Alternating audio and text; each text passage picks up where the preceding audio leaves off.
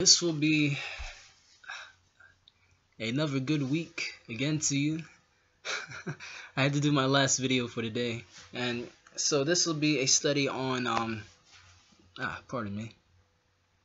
This will be a study on um Galatians 5 verse 23. I've seen this verse so many times butchered. Boy, destroyed, distorted, so much it kills me so. Galatians chapter 5 verse 23. Uh, Galatians, Ephesians. Galatians is after 1st and 2nd Corinthians. Uh, or is it Acts, Romans, 1st, 2nd Corinthians, Galatians. Uh, so Galatians chapter 5 verse 23. The infamous, um, skipping ahead, where it says, against such, against, so being against, against such, there is no law. There is no law. That in itself should uh, make clear what it is that's going on. Um, but if it's not, let me share this with you. Well, this is dealing with the fruits of the Spirit. Galatians 5, verse 15 through 23. Um, you you see the fruits of the Spirit, and also verse 24 through 26 is also important um, in understanding it. So, so what does that mean? Against such there is no law. So this understanding this phrase will help us to understand truly and the more certain uh, the fruits of the Spirit, the fruits of the Holy Spirit. Okay, well, let's see. This is a fun study on sharing the how you say the the the the, the I don't know how to say it the many angles of the law of God and what the law of God provides from us by the Holy Spirit. Now Romans 8 verse 1 through 2 calls it the law of the Spirit of life. So it's the law of life, it's the law of the Spirit, it's the law of Christ, the law of the Spirit of life in and by Christ Jesus has made me free from the law of sin and death. So the law frees us from the law? No. uh, the law of the Spirit of life frees us from sin and death. This experience of sin and death with uh, that same law that we had that we're made free. That law of liberty, it sets us free. Uh, James calls it the law of liberty, also the perfect law of liberty. Even um, uh, John calls it in John eight. What is it? John eight thirty two or verse twenty three? I forget. Verse thirty two or verse thirty three says, "You will know the truth, and the truth shall set you free." So the Word of God has a salvific potential within it the law of God has a salvific potential in it when it's received in our hearts, when the word is received in our hearts, when the law is received in our hearts. Uh, let me get straight to the study. So, understanding the phrase in Galatians 5 verse 23 uh, connected to the to, to, the fruits of the spirit, the list of the, the listing of the fruits, the fruits of the spirit, where in chapter 5 verse 23 it says against such being against speaking of the fruits of the spirit against such of these things, against such, there is no law. There is no law that's against these things. I already answered this quickly uh, in that way, saying that the law is not against the fruits of the Spirit. Uh, it shouldn't be. Uh, if it is, that means you're you're misinterpreting the law and you're devouring one another. You're uh, going to law against a brother and you're forgetting that the law says you shall love your neighbor as you love yourself. James gets into that. He says if you judge evil against the law, you're judging evil against your brother. It's true interpretation of the law of God teaches us to love our brother. It teaches us even mercy. It teaches us even yes justice, but we have mercy and we have faith, individual faith and the faith community. Um, faith of the community, faith of the church, the collective. All right, well, pardon me. Against such there is no law. Many Christians they'll want to jump on that and then they'll say there's no law because we have the fruits of the spirit. They'll say something like that. Let me see if I can get the language correctly. Did I say it right? The way how they see it. Uh, because we have the fruits of the spirit, they come to verse 23 and they say because we have the fruits of the spirit, there's no law. There's no law. But no, I already explained to you what it really is saying. And to make it the more clearly evident, let's proceed with this study. O Lord, lead us unto all truth, guide us, be with us. May we understand your law because it's close to your heart and it should be close to our heart. For you said, If you love me, keep my commandments. So let us understand it without further ado. Amen. So, quickly. Well, right there in verse I to, to explain this to you, verse 16 he says that all these things are in the Spirit. I say then, walk in the Spirit, and you shall not fulfill the lust of the flesh. So all these things that he's talking about are things that are in the Spirit.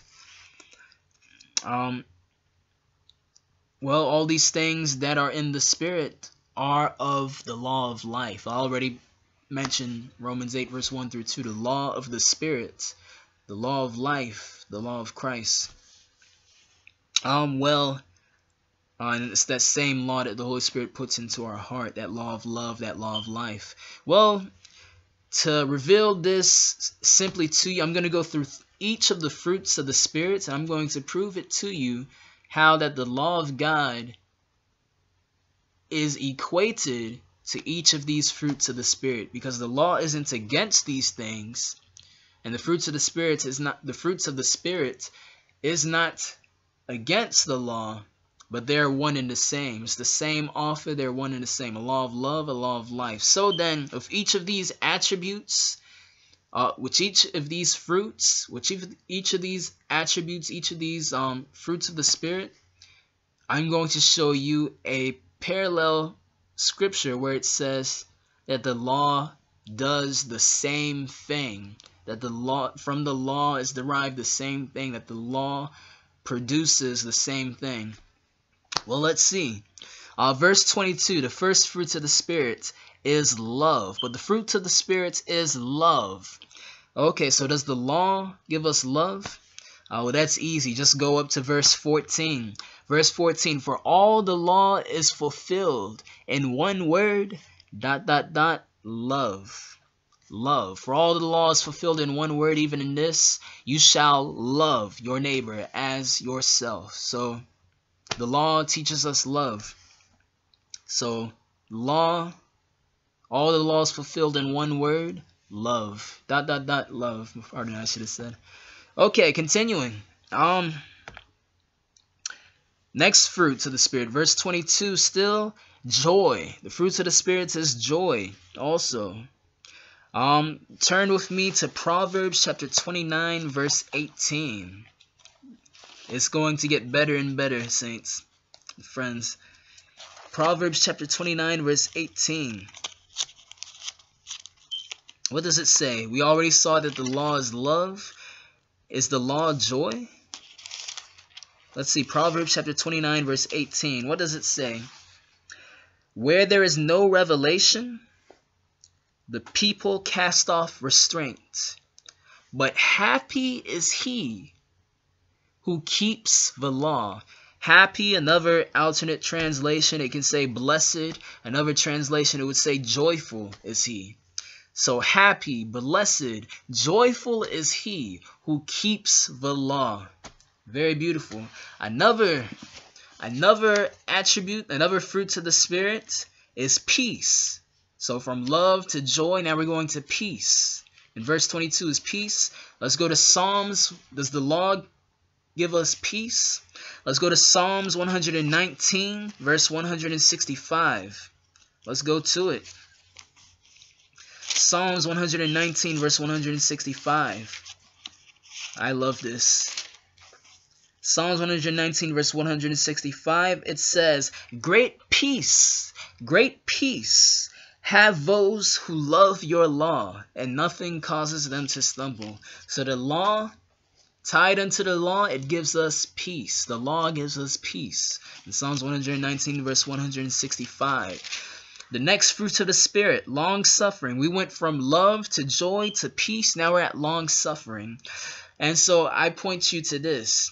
This one is nice too. I point you to this. We already saw, note this, we already saw if the law equals love, we saw the first fruits of the Spirit is love, and the law is of love uh, in Galatians 5.14. In one word, love. Um, if the law is of love, guess what? Uh, also by extension of the law being love, the law being equal to love, see First Corinthians chapter 13, the love chapter, and in First Corinthians 13 it says that love is long suffering. So love equals long suffering. And so let me turn there to you. Love equaling long suffering, then therefore Psalms chapter 119, verse 136. Let me try to move quickly. I'm going to turn here for you. Psalms chapter 119, verse 136. So the what was it again? If we already saw for the fruits of the spirit for long suffering, proving that the law is long is of long long suffering, gives us long suffering. If the law equals love, we saw that already in Galatians 5:14. The first fruits of the spirit in verse 22 is love. Galatians 5:14 law is of love. If law equals love, then see that love in 1 Corinthians chapter 13 in the love chapter love equals long suffering. So the law so then the law equals love equals long suffering, a long suffering love. So then see Psalms 119 verse 136. Let's see long suffering displayed. One Psalms 119 verse 136. I love this scripture. Psalms 119 verse 136 it says David he says Rivers of water run down from my eyes. Because, why? Because men do not keep your law. So David, he had that long suffering. He was in sorrow. He was in crying. He was suffering. And, and it built up a compassion or, or, a, or a, a sorrow within him, a godly sorrow within him. And it was over and over and over. He was afflicted with this sorrow, and he was just bearing it because men were not keeping the law of God. And so, in that sense, in that way, the law, it does, it is of long suffering, the law of long suffering.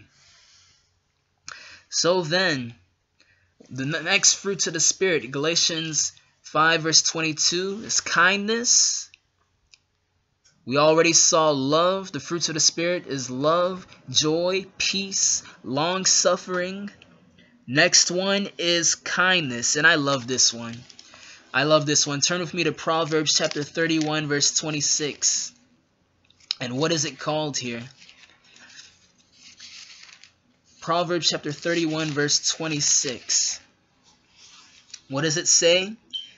Speaking of the virtuous woman in chapter 31, uh, speaking of the virtuous woman, it says, She opens her mouth with wisdom, and on her tongue is the law of kindness. The law of kindness. So the law is of kindness. The law is kindness. So again, we're seeing that God's law is not against the fruits of the Spirit. God's law is the of the fruits of the Spirit is of the Spirit, is of God's fruits, of each of the, the fruits of the Spirit. Um, another scripture is Galatians chapter 6, verse 2. Let me see. That Galatians chapter 6, verse 2. So the law of kindness. Galatians chapter 6, verse 2.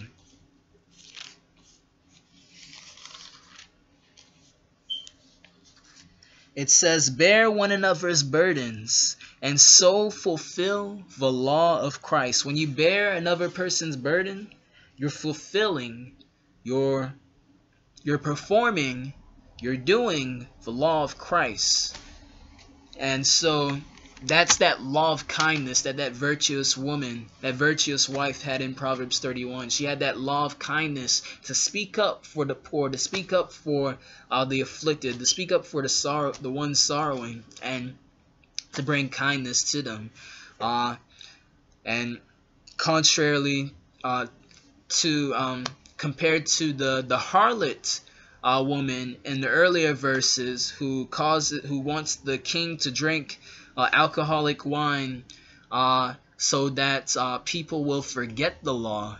Uh, the harlot woman in Proverbs 31, she wants you to forget the law, but the virtuous woman, the pure woman with a pure grape juice, she wants, with the pure vintage, the pure grape juice, she wants you to keep the law, to remember the law. On her tongue is the law of kindness. So, uh, continuing, uh, the next fruit of the Spirit is goodness. We already saw love, joy, peace, long suffering, um, long suffering, um, kindness. Next one is goodness. Galatians 5:22, the fruits of the Spirit. Goodness. Well, go to Romans chapter 7, verse 12. Quite simply. I could have went to many other places with this. Romans chapter 7, verse 12. Therefore the law is holy, and the commandments holy and just and good. So the law and the commandments, it is holy, just, and good. Goodness is taught by the law. The law is good. The next fruit of the Spirit, Galatians 5, verse 22 still, it's faithfulness. Well, Matthew 23, verse 23. The law is of faith. What does it teach us there? Where Jesus said, "He scribes and scribes and Pharisees, hypocrites." He said, "You do this, but the weightier matters of the law, the weightier matters of the law." Let me turn there. Woe to you, scribes and Pharisees, hypocrites! That means sinners. That means liars, even. Uh, for you pay tithe of mint and anise and cumin, and have neglected the weightier matters of the law, which are which is what? Um, justice and mercy and faith. These you ought to have done without leaving the others undone. These are the weightier matters of the law justice and mercy and faith. So, faith. Faith. So, the law of God teaches us faith. Also, justice and mercy, but faith. The law teaches us faith. Matthew 23, verse 23. Another scripture, Romans 10, verse 17.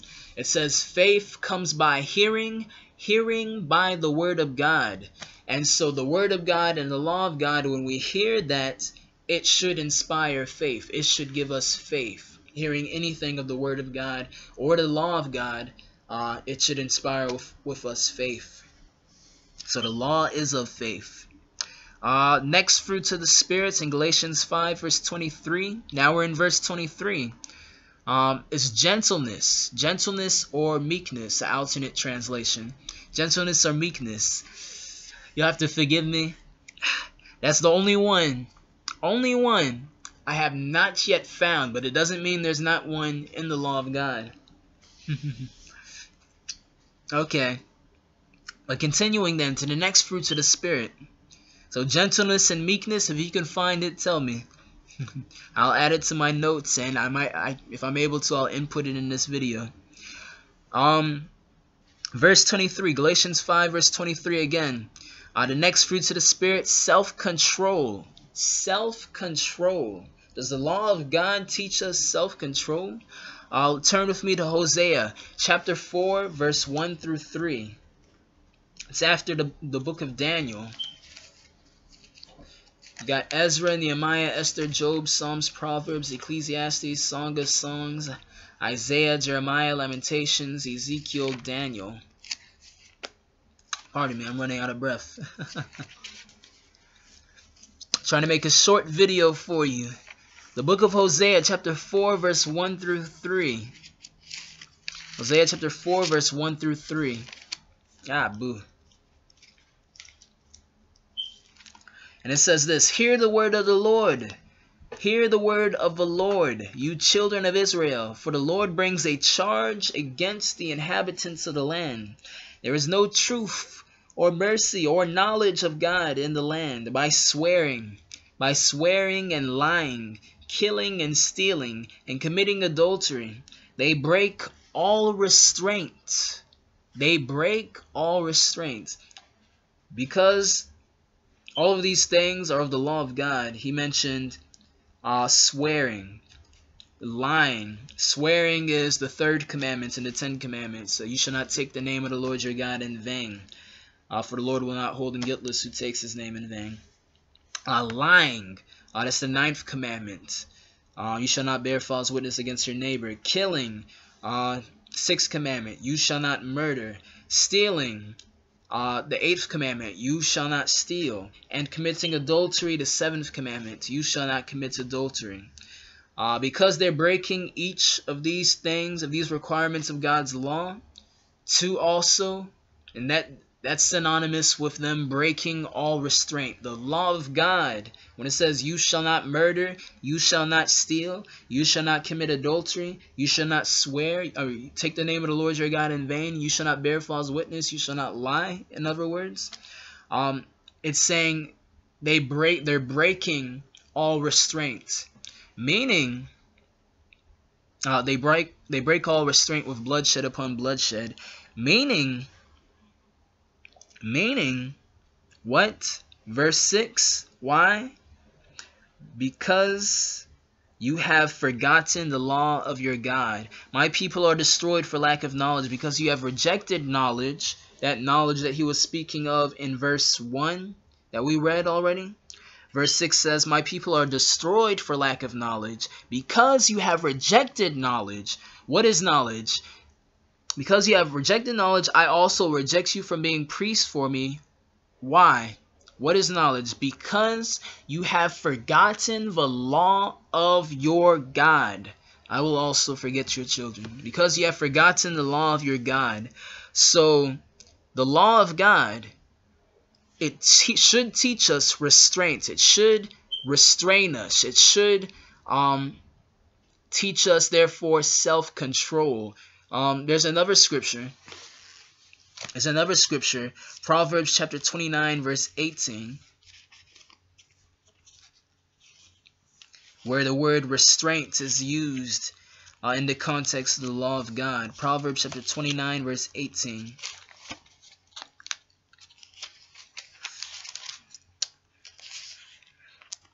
Turn with me there. Proverbs chapter 29, verse 18. It says this Where there is no revelation, the people cast off restraint. But happy is he who keeps the law. We looked at this early. Where there is no revelation, the people cast off restraint. But the opposite of that is, um, guess what? Happy is he who keeps the law. So again, the law is in the context of us having a restraint. We should have a restraint, but those who don't have revelation, they cast it off. They cast off all restraint. Uh, revelation or prophetic vision, they cast off all restraint. So, the law is what we need to to be restrained, to have self-control, even in this sense, to be protected uh, the law guards us. It guards us. It protects us. It uh, restrains us. And it get, teaches us self-control. How does it protect us? Uh, if somebody loses all, they break all restraint, that means they break all restraints of the law. That means they're out, they're going to do whatever they want to do. Uh, that means they're going to uh, commits adultery. They're going to steal your wife. They're going to steal your, your car. They're going to murder you. Therefore, the law not only does it teach you self-control in of yourself, so you you're you're you're restrained. Your the, the flesh is restrained. You're, you're you guard yourself by holding the, the law of God in your heart. It, it being your meditation. Not only does it protect you, but excuse me, but also uh, the law protects you from other people killing you or stealing from you or lying to you or so on and so forth. So it restrains you and it restrains others uh, to protect you and to protect you again from others. so the law teaches us self control.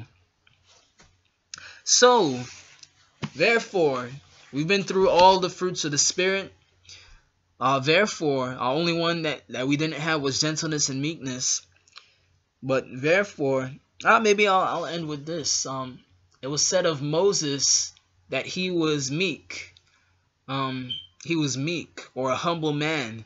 And he's the man of law. He's the man of of the Ten Commandments of the law of Moses, the law of God the Torah, and he was described as the humblest man on earth or the meekest man on earth. And so that man of law, he was meek. He was gentle even. Uh, gentleness. Gentleness and the alternate translation is meekness. So gentleness and meekness. Uh, Moses, he was gentle and he was meek. He was meek. And as Jesus said, the meek shall inherit the earth. And so that man of law, I'll, I'll add that to the notes. Moses and his meekness. The man of law was the meekest man, the most humblest man on the earth. And so, praise the Lord. So, all of these fruits of the Spirit, all of these uh, attributes of the Spirit called fruits that we've been through love, joy, peace, all, all, all the list of them we can conclude this. This is this is the this is the conclusion. So when Galatian means against such, against such as these things mentioned here, you turn to Galatians 5, what is it? Galatians 5 verse 23 where it says against such. Against such, we read against such as these things mentioned here, and then dot dot dot. There is no law against them. There is no law against them. Therefore, so against such as you can you can retranslate um, Galatians like that. Against such as these, all caps. Against such as these things mentioned here. Dot dot dot dot. There is no law against them. There's no law against them. Ah, yet why, why do you, brethren, you keep fighting against these fruitful things of the spirits of love? Oh, and this is what Paul is intimating in this very message. Why do you this is the context why why he's speaking this message in the fruits of the spirit in the fruits of the spirit in Galatians 5. He says it's he's he he mentions all of these things and he says you know, against such there is no law, but why are you, brethren, um, it's as if he's saying, why are you, brethren, uh, still continuing and, and, and you keep on fighting against these fruitful things of the spirits of love, these fruitful things of the spirit of love. That's very well what he's uh, intimating uh, towards the people who he's he's writing to and ministering to. Uh, you know, they keep arguing. There's a whole bunch of arguing in the New Testament, arguing against one another and promoting strife and envy, all by judging wrongly. They're, they're judging wrongly by going to law against a brother falsely for reasons of pride, of the pride of your own heart. Paul is speaking to them. This is this is me, me um as if putting it putting it in my own words to the experience of what Paul is really trying to say. You keep arguing against one another, promoting strife and envy, all by judging wrongly, by going to law against a brother falsely, for reasons of pride, of, of, of the pride of your own heart. But against the fruits of love, there is no law you can find. He's saying you you may go be able to go to the law and try to nitpick and and incorrectly uh, interpret the law and try to bash this person and this person and this person. Uh, but guess what? Against the fruits of love, there is no law you can find. I can guarantee that to you. And Paul was trying to relay that message uh, to to the church, to the New Testament church. He's, he's saying as if you wouldn't be able to find one because the entirety of God's law, God's law is love. Love. And so he says that in Galatians 5 verse 14, for all the law is fulfilled in one word, even in this, you shall love. You shall love. And so that's the context. Love your neighbors, uh, family. Love God's law. Love His word. Love the Lord, um, and love one another. And this is all we can do. There's there's nothing that can come against this. This is the the message of the gospel. There's nothing that can come against this. And so to fully the more appreciate it, see it in his word, be able to find it in his word, be able to find it in his law love, love, love, love, love. And I share this with you uh, in this in this way uh, through the fruits of the Spirit. How God's law is perfectly equated unto the fruits of the Spirit, and so it's beautiful. Amen. it's a good and it's a perfect gift. Amen. You be blessed. Peace.